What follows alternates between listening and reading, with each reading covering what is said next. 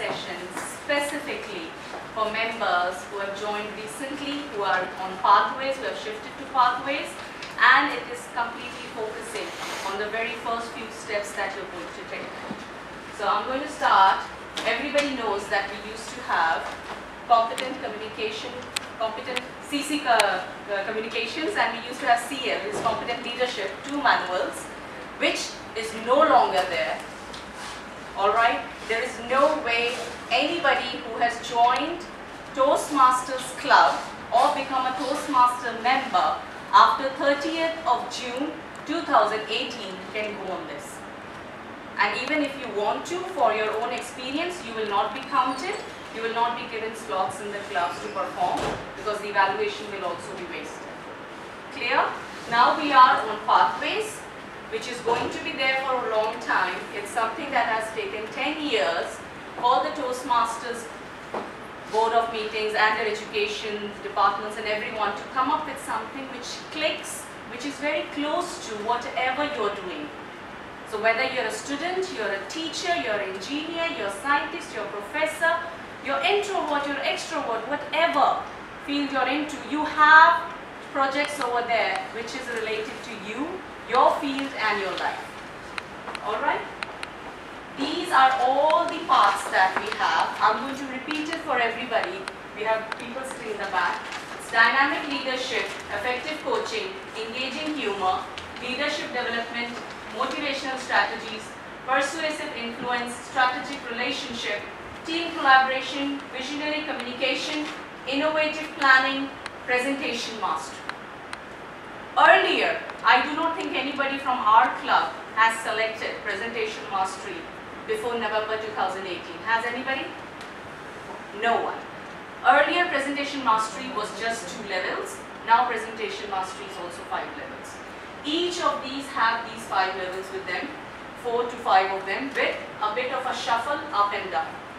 Today the focus is to speak on this one which is with everyone. All of these parts have level 1 and level 5. So your projects are going to be same with everybody, whatever path you have selected. And the first couple of projects that you're going to do speeches is going to be same for all the clubs everywhere in the world, whatever path you have selected. Got it? So here, how do you reach here? I'll just quickly tell for the new members. You, you become a member of a Toastmasters club you get your membership ID and an email that you have to log into toastmasters.org. Then you give there an assessment, an assessment which comprises of, if somebody has done recently, it's 20 questions, right? Yes. Okay, it's 20 questions and it's going to suggest you that which path you could select. The questions are about how would you react if you were in a leadership position. If you haven't been, then they will ask you to imagine if you are. And then they suggest it's leadership related, it's public speaking related, it's about how innovative you are in, in a conflict situation, in negotiations. So those answers are going to determine and they suggest you. There is no such thing as telling you to take dynamic leadership. In the end, they tell you that if you like it, take it, otherwise select your choice. Most of the people who have selected now humor, engaging humor, have never got it in their assessment. They have done it themselves. I did not get my assessment. Uh, my assessment choice was something else, but I selected on my own will effective coaching because when I read that what this project has, I wanted to go for it. Clear? So this will only happen once you become a member and each of this they have their own book. They have it online. If you need it printed, you can order. But the suggestion is that do it online one by one project and keep downloading it for free and create your own book by the time you have done it.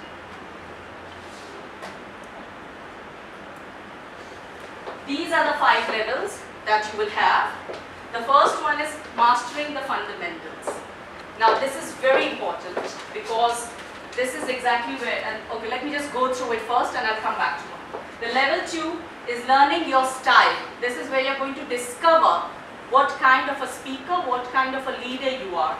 You're going to have to do two projects and you're going to be introduced to Toastmasters mentoring as per pathways, if you have done this project, then you could be a mentor. But it's always on the choice of the club. It's always by after when the executive committee decides, we can have some dynamic people who could become a mentor earlier. Alright, it depends on the experience, on your leadership skills. But overall, this is where you get a green flag from Pathways that you could be a mentor. Why? If you have not done this part and you happen to start a club, and in that club you're selected as the club mentor, your name will not show up because you have not done this part. So you're not eligible to be a mentor because this actually explains you how the Toastmasters and Pathways mentorship program works. Then we have level 3 which is increasing knowledge. It has one required project, a minimum of two elective mm-hmm. projects. Here they suggest that you should have served table topics master and you should have been an evaluator. Now in our club it's a bit different.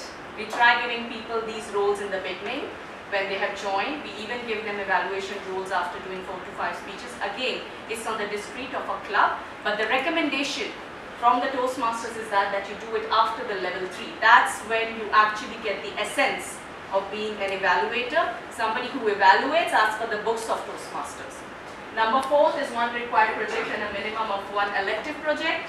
Number five is demonstrating your expertise. Again, it's elective projects. Now, the, what are these kind of, these projects? They are a mix of around 53 projects, which are writing a compelling blog, putting up a podcast, doing a youth plan, having a panel discussion, handling a difficult audience, and all of these projects, they have a choice. Some of them, it's written clearly that you're allowed to do it outside the club. You just need to have an evaluator with you or submit a video. So this is pretty dynamic now. It does not force you to have it all done within Express Toastmasters. You can use other clubs also. You can do it in your daily life. Aga Faisal handles a team. I know Najam handles a team. So if they get the project of such as handling a difficult audience or reaching to consensus, you can do it in your office in a meeting and it's not time bound. You can record it or you can invite somebody to be an evaluator in that. Clear? Now, this is where the focus is today. Everybody knows what's icebreaker? Yes. Osman has showed it to us today, right? Very well done today. So, icebreaker is where you introduce yourself. That's the first step of coming to the stage and talking about and taking the first step of the speech. This is where I want to focus more on evaluation and feedback. Evaluation and feedback, you all have read it. I'm just going to quickly read it because it's written very nicely. The purpose of this project the purpose of the project is for the members to present a speech on any topic, receive feedback and apply the feedback to a second speech. The purpose of this speech is for the member to present a speech and receive feedback from the evaluator. The speaker just has to give a speech on any topic because he still doesn't know what kind of a speaker he is. He still hasn't identified his style, his humor, his speeches, his voice modulation, stage usage. So he's going to use any subject that he wishes to. And the aim is to get an evaluation. And what evaluator will be looking for? I'm more focused on this now because actually I've seen mashallah great evaluators coming up in the evaluation contest and you should be aware of it now. No need to reach to level 3 but you can start from now and read this with me. The member has to spend time writing the speech to present, to present in club the member will deliver a well-organized speech on any topic. Focus on member speaking style. Be sure to recommend improvements that member can apply to the next speech. The speech may be humorous, informative, any style the member chooses. Why is this important? If I find today a speaker here on stage who is a monotone, who has a habit of speaking in a tone, and I give him an evaluation that raise your voice, be louder, scream, show drama, that's not a productive evaluation. So you as an evaluator, it's your duty, it's compulsory on you to focus on member speaking style. So you have to evolve yourself into see that what kind of a speaker he is. That's why it's recommended on level 3 to become an evaluator. That you should take him as a person what his capabilities look like, and then evaluate him and give him the evaluation that he can use it. It's a wastage of time of an evaluator when he gives tips and the speaker is not able to put it. That's a waste of one whole session and many more weeks because a speaker was planning on preparing a speech and what evaluation you have done is not collaborating with him. Alright? Now the first project is obviously where the speech is given. That's project 2.1. The second is when after receiving the speak after receiving the feedback, the speaker does a second attempt with the evaluation that he has received. So I was told that Erum you didn't use the stage, you were standing at one place and you clapped your hands. This is workable, I think it's doable and I came to know that I smile. This is my plus point. So in my next attempt, whatever topic I'm planning to do, I can even repeat it.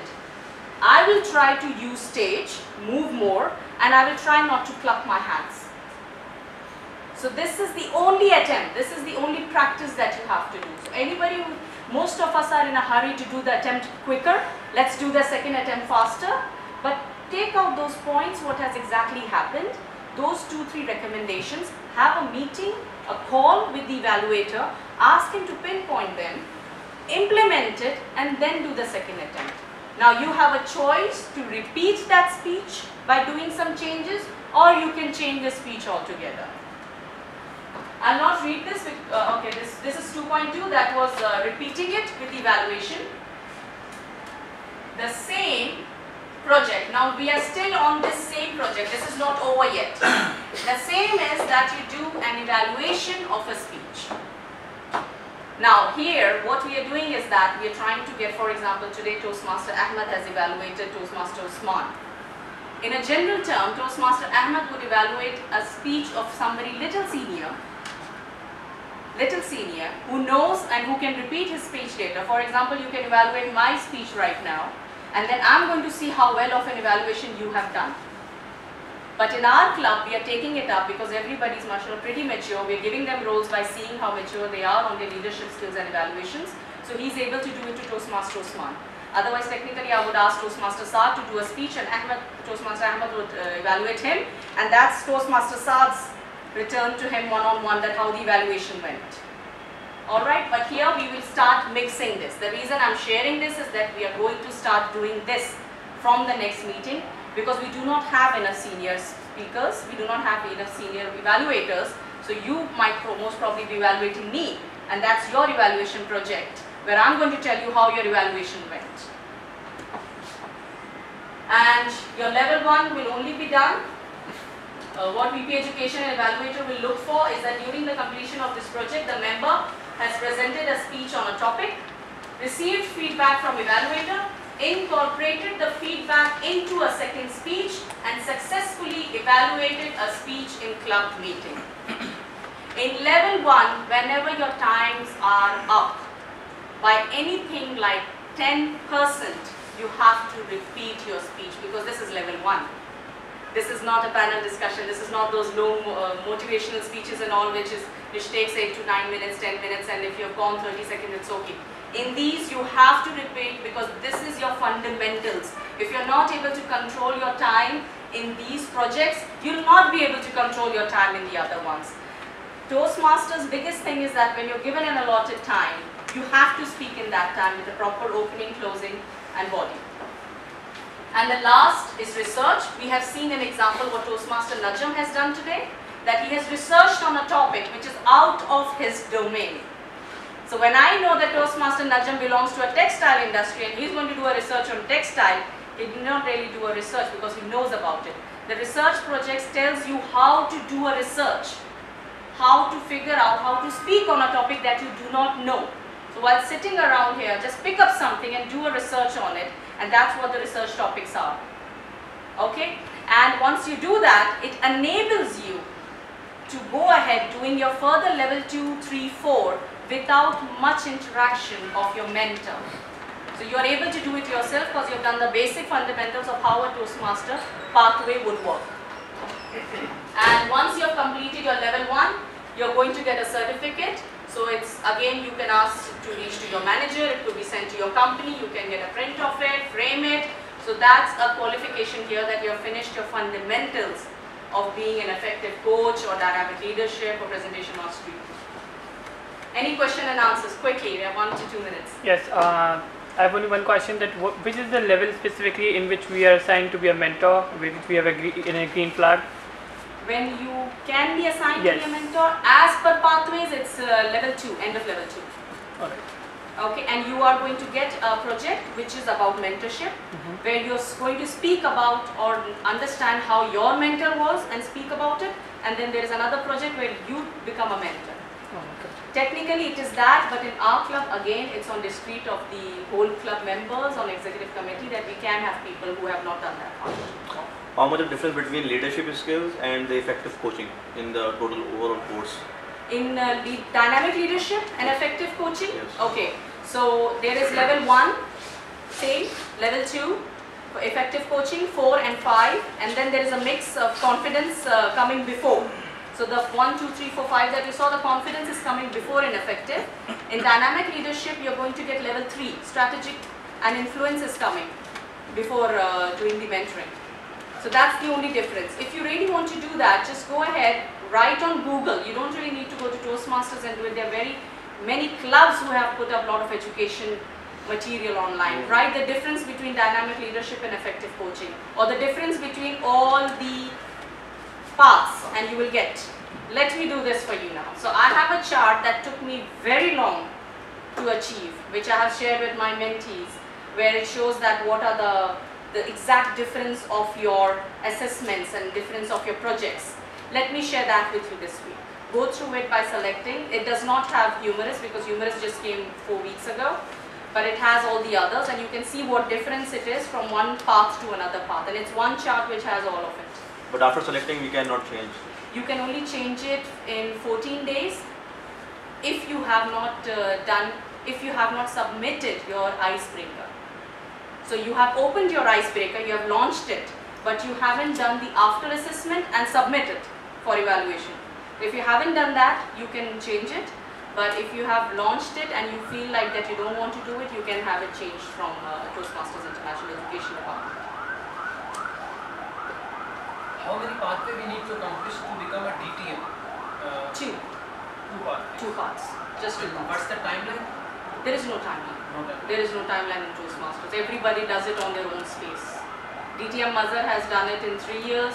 There are many DTMs that I have met who took 10 years. So it's all on your own space. And there's nothing ha, wow, or why. There's nothing, there's no such thing as that. Everybody does it on their own space. Any other questions? Is there any other prerequisite for becoming a DTM apart from completing two pathways? Yes. So you have to have, now because you're going to become a territorial council, so there is most probably going to be one more point of having a position in the territorial council leadership team. You have to start a, a club by either becoming a sponsor or a mentor, or you can have, and you have to start a youth program. And that youth program does not have to be a one-day session. It has to be, it needs to have proofs that it's going on couple of few things that's it and there is a DTM project which you're going to get specific because you have done two parts and they're going to give you that project based on those two parts that you've done which I'm, I'm not still aware of. Anything else? Rewind it up. Any questions, any questions, put it up to me. I'm available on WhatsApp and both the groups. And there are a lot of videos. I know this was overwhelming. There are a lot of videos on it. Go yourself. Please go yourself and put up your questions on Google, on Toastmasters.org and have it here. Over to Table Topics Master.